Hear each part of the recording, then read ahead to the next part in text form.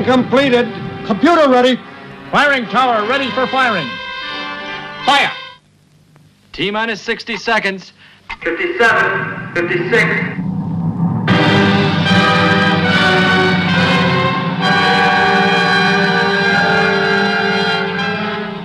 Here is the picture it took courage to make.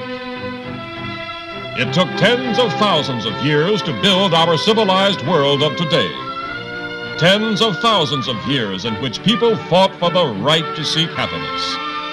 We must make certain that future generations will continue to have this right. We cannot destroy this heritage.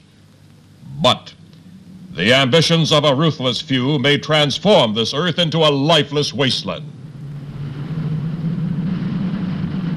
Do you men believe that peaceful coexistence is possible in this world? What about you, sir? How about you? Can you believe in peaceful coexistence? You want to, but too many trouble spots are building world tension. It took place yesterday. It's happening today.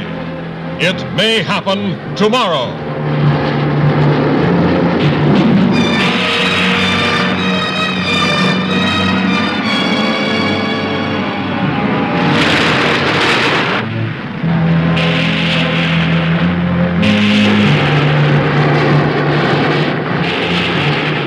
Terror of a last war is constantly casting its ominous shadow over us.